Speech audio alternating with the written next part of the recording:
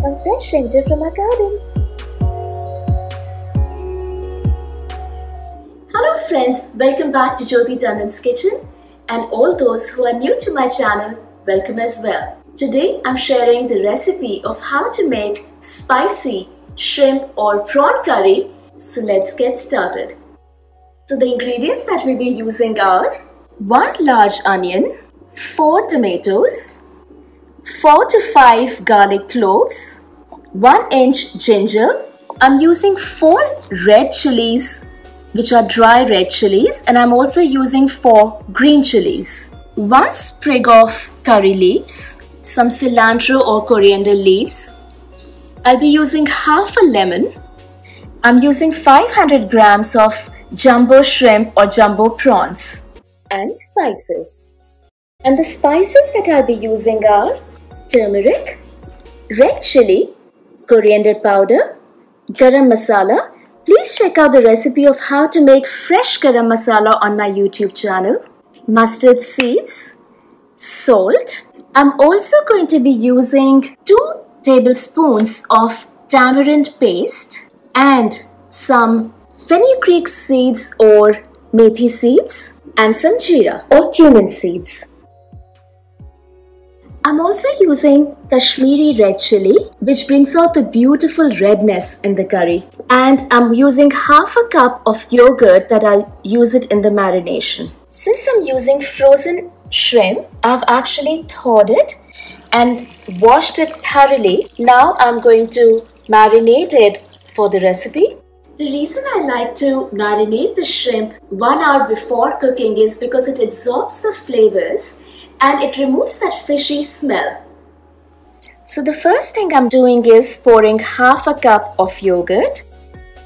I'm now going to put 1 4th teaspoon of turmeric 1 teaspoon of salt, 1 teaspoon of Kashmiri red chili for the beautiful redness. Finally, I'm squeezing half a lemon. Gently stir it all and mix all the spices and keep it away for 1 hour. So time to chop the onion. I like cutting the onion into juliennes for this recipe.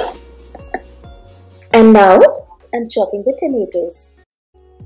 So now that the tomatoes are cut up, I'm going to crush the 5 garlic cloves and 1 inch of ginger along with 2 red chilies. I'm saving 2 for the curry and I'm going to crush 2 dry red chilies with the garlic and ginger. Although you can actually use a grinder or a blender for the purpose as well.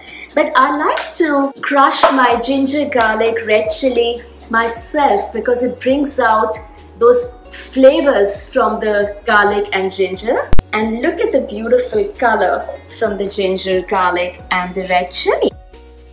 I'm also chopping green chili into juliennes. Uh, there's these small, small minor touches that make or break a recipe. As for the curry leaves, I'm going to use half of them chopped and half I'm going to save for the plating. So let's start with the cooking of the prawn curry now. I'm going to put one ladle of oil in a non-sticking pan.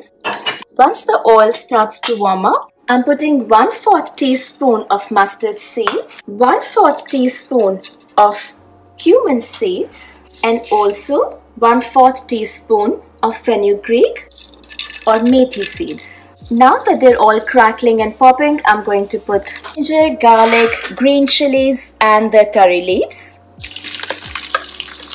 Let it all sizzle.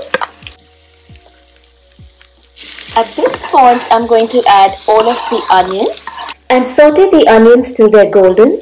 It's now time to put 1 4th teaspoon of turmeric. I'm going to now put some red chili powder in this. 1 teaspoon of coriander powder. Mix it all well.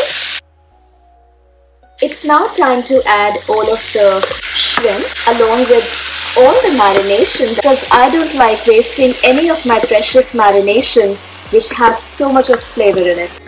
I'm going to saute it for 2 to 3 minutes. So I'm putting 1 teaspoon of salt, 2 tablespoons of tamarind. If you note, I have not added tomatoes yet I like to add the tomatoes in the end because they bring out the redness and the curry and the flavors. Add my four chopped tomatoes. Mix it all in. And tomatoes themselves will give the curry time to cover it up and let it cook for 5 to 7 minutes. Now that the shrimp has started to leave the water and the curry looks beautifully cooked, it's time to now finally sprinkle half a teaspoon of my fresh garam masala. Please check out my channel to see the recipe of how to make fresh garam masala. So finally, it's time for the plating and garnishing. So I'm garnishing it with some chopped cilantro leaves and also some of the curry leaves that we had kept. I'm adding some of those. And here you go friends, a quick, easy but absolutely mouth-watering spicy prawn curry is ready. Please like and subscribe to my channel. And don't forget, eat naturally, live happily.